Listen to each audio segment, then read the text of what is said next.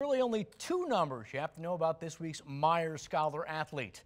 He has a 3.2, 3.8 GPA, and he has an average of nine assists per game. There's no doubt that West Ottawa senior Blake Pedersen has the right attitude both in the classroom and on the court. In addition to being part of the National Honor Society, he is a three-sport star with the Panthers. Now, while he loves to score, he says he's more valuable to the program when he is passing the rock.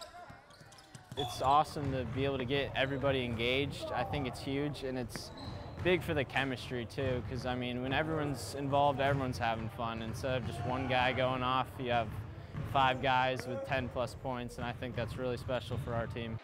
It's the way to be. Pedersen doesn't know where he's going to school yet. He does know he hopes to go into business. Cal